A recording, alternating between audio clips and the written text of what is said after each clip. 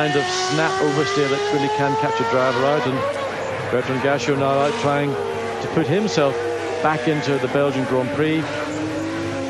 Moved back from 26th to 27th when Christian Fittipaldi got into the Grand Prix.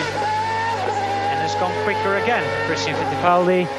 Although we missed it on our television screen Christian is now in 24th position a 230.931 the man on the bubble is Philip Adams in 26th position, while Bertrand Gachot has to do a 233, let's say 7, to get into the Grand Prix.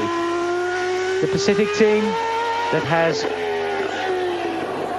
won in all the categories they've entered cars, now made the grade into Formula One. They've just signed a, as I say, multi year multi-million dollar agreement with the company on the are slightly reduced so I'm sure Bertrand will try his hardest he always does but I think it's probably somewhat forlorn.